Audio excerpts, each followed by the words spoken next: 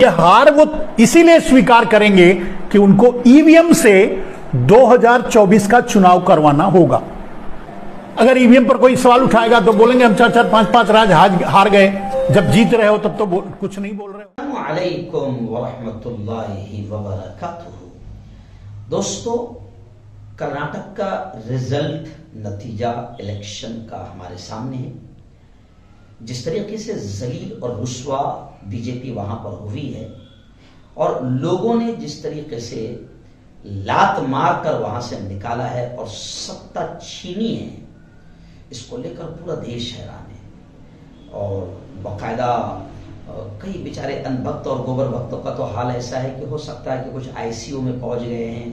कुछ लोग तो हो सकता है आठ दस दिन तक खाना ना खाए, बड़े परेशान है। और वो हमारा कई टीवी चैनल वाले बड़े परेशान है। वो हमारा वो तिहाड़ी पत्रकार है।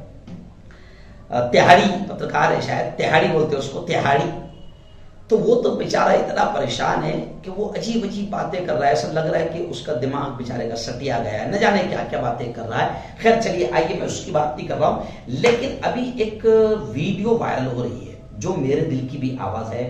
हो सकता है कि हज़ारों, लाखों लोगों के दिलों की आवाज़ वो हो सकती है। जी हाँ एक भगवा लिबास में एक साधु है।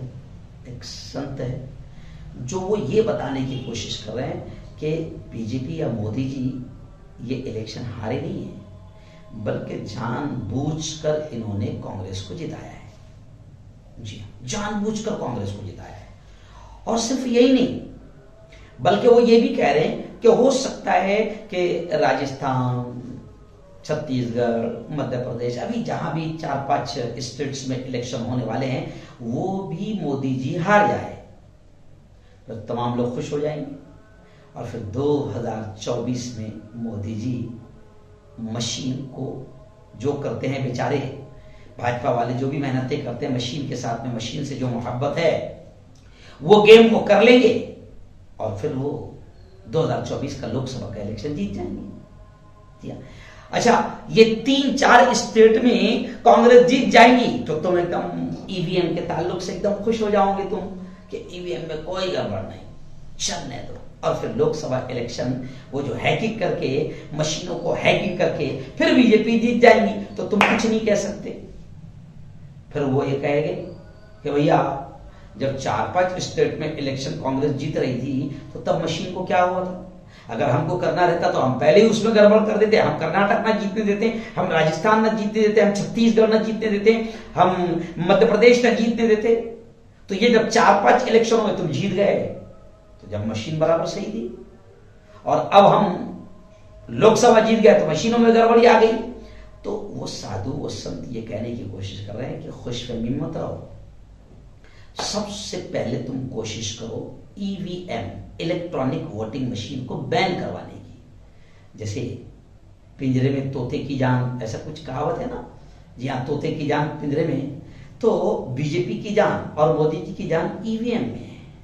और ईवीएम के खिलाफ कुछ लोग अभी आवाज़ उठा रहे ईवीएम को बैन करने की। और अभी आप देखिए गुजश्ता कल भी तुर्की का इलेक्शन हुआ। बड़े बड़े बैलेट पेपर पर तुर्की का इलेक्शन हुआ। अमेरिका, तुर्की, लंदन, फ्रांस, ये तमाम वेस्टर्न कंट्रीज़ बड़े बड़े मुल्क जो है, वो ईवीएम पर इलेक्ट्रॉनिक वोटिंग मशीन को उन्होंने उठाकर नालियों में फेंक दिया है, क्योंकि इलेक्ट्रॉनिक वोटिंग मशीन का कोई भरोसा नहीं, क्योंकि वो इलेक्ट्रॉनिक है। इलेक्ट्रॉनिक का मतलब कभी भी उसमें कभी भी छेड़खानी हो सकती है, उसे हैक किया जा सकता है, उसे मैनेज किया जा सकता है, उसे सेटिंग किया जा सकता है। तो तमाम बड़े मुल्कों ने अमरीका से लेकर तुर्की तक सबने ईवीएम को फेंक दिया। लेकिन ईवीएम को मोदी जी और बीजेपी क्यों नहीं हटने दे रहे हैं? क्योंकि ईवीएम में गड़बड़ किसी भी अंदाज में हो सकती है। ईवीएम में कुछ भी किया जा सकता है। और मोदी जी है तो मुमकिन है। तो अब कुछ लोग ये कह रहे हैं कि ये तीन चार स्टेट वो तुम्हारे हाथों में बीजेपी दे देगी, तुम खुश हो जाएगी। और ईवीएम के खिलाफ तुम जबान नहीं खोलोगे। और फिर लोकसभा में ईवीएम में जो हो सकता है वो किया जाएगा और लोकसभा जीत लिए जाएगी। फिर मुल्क में सत्ता बीजेपी की रहेगी। तो अब आपको हम सब मिलकर यही समझाना चाह रहे हैं कि ठीक है ना भाई, आप जीत रहे बहुत अच्छी बात है। लेकिन जब तक आप मुल्क में उस वक्त तक के ईमानदारी से इलेक्शन नहीं हो सकता, जब तक के ईवीएम बाकी रहे। इसलिए मोहम्मद सज्जाद नुमानी, वामन जी मेशराम बाम सेब, कई मूल निवासी संगठनाएँ और हम लोग आपसे ये अपील कर रहे हैं कि सबसे पहले, अगर 2024 में मुल्क को नफरतों से बचाना चाहते हो, मुल्क को बेरोजगारी से बचाना चाहते हो, मुल्क का विकास चाहते हो, मुल्क को दंगे फसाद से पाक करवाना चाहते हो नफरतों से पाक करवाना चाहते हो तो मुहिम चलाओ ईवीएम बैन की। वरना ये चार पाँच रियासतों के इलेक्शन विधानसभा में तुम जीत जाओगे, खुश हो जाओगे। और फिर 2024 के लोकसभा के इलेक्शन में मशीनें हाथ में कर ली जाएगी, हैक कर ली जाएगी, और तुम्हारे, हमारे और मुल्क के साथ बड़ा गेम हो जाएगा।